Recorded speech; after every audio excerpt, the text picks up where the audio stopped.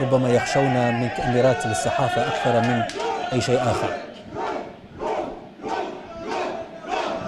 نذهب إلى ضياء حوشية الذي كان وما زال موجودا في سلسلة باب السلسلة ليضعنا في صورة التطورات التي تجري الآن.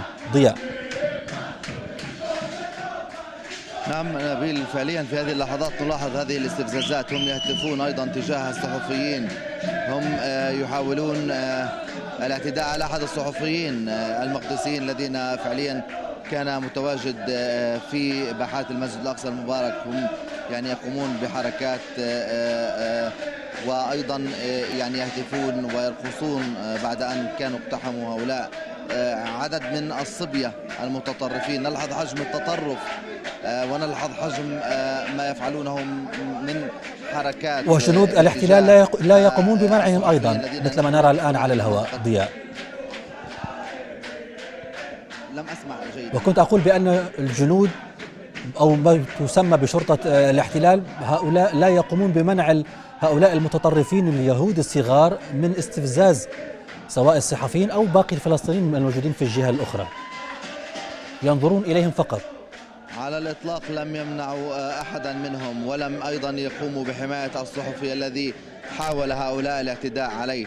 فقط ما قام به الشرطة أن دفعوا الصحفي وأبعدوه من منطقة باب السلسلة باتجاه باتجاهنا حيث نقف نحن كصحفيين. ولكن نلحظ الخبر الأهم هو حجم التطرف الحاصل في هذه اللحظات وحجم التطرف لدى المستوطنين الذين اقتحموا المسجد الأقصى المبارك خصوصا بأن أحد أعضاء الكنيست وهو المتطرف ايتمار بن كفير الذي دخل إلى باحات المسجد الأقصى المبارك هو فعليا يعني ربما يسمى برأس الشر ورأس التطرف في إسرائيل نتيجة أعماله ونتيجة ما يقوم به في المسجد الأقصى المبارك. بعد أن منع من اقتحام المسجد الأقصى المبارك لعدة أشهر عاد واقتحم. في هذه اللحظات ايتمار بن كفير خرج الآن حيث برفقته عدد من الحراس. خرج من جهة باب السلسلة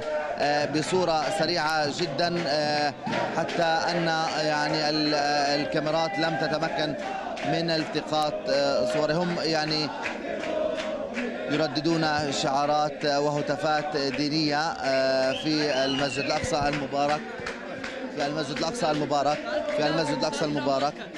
هو يعني يقف أمام الكاميرا هذا أحد المتطرفين المستوطنين ويعني يرفض يرفض الخروج والابتعاد من هنا حيث نلحظ كيف قاموا باستفزازات كثيرة.